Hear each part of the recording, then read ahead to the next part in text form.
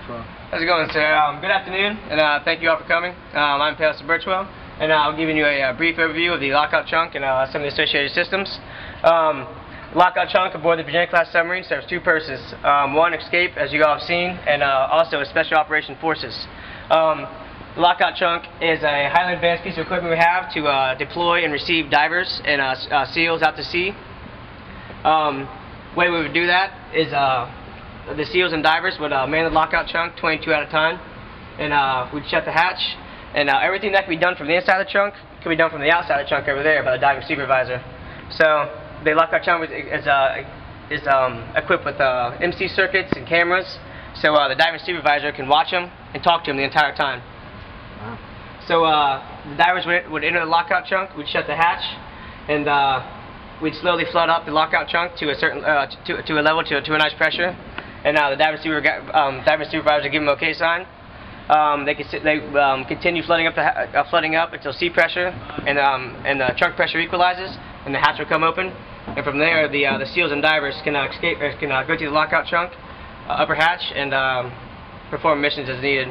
Um, special operation forces, God's work, what have you. and uh, from there, um, the diving supervisor has cameras. He can watch them do everything. We, um, they'll have cameras topside watching everything. And then uh, once they're done with their work, they come. Um, all the divers enter, enter the lockout trunk. We drain it down, and um, they climb right out through the hatch here. Great. Once And, and everything's how many can fit in at one time? the Around 22. Yeah, Wow. The, nor- the normal setup would be a normal team would be about a 10-man team that would deploy, but we can do a mass we can do a mass uh, swimmer exodus of about uh, 20 uh, about 22. And this is the, the suit. That's that suit again that you. s- Uh, yes, like you guys have seen, this is the uh, the Mark 10 size suit. The other purpose of the lockout trunk is escape. If we are a disabled, sa- a disabled submarine on the bottom of the ocean, um, they can use this uh, the lockout trunk to escape. Um, we can escape from 600 feet or less, and the way to do that is um, each personnel would be handed one of these, uh, Mark 10 size suit. Um, inside this little vacuum case is this suit and a, uh, an inflatable raft. Right. Um, personnel would uh, put don extra uh, extra warm clothing, shed all heavy weight, eat a bunch of food, drink a bunch of water, and don this uh, this suit.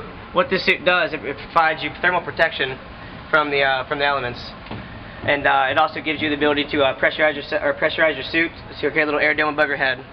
So uh, two two personnel at a time would enter the lockout trunk, and uh, they plug into an air source right there.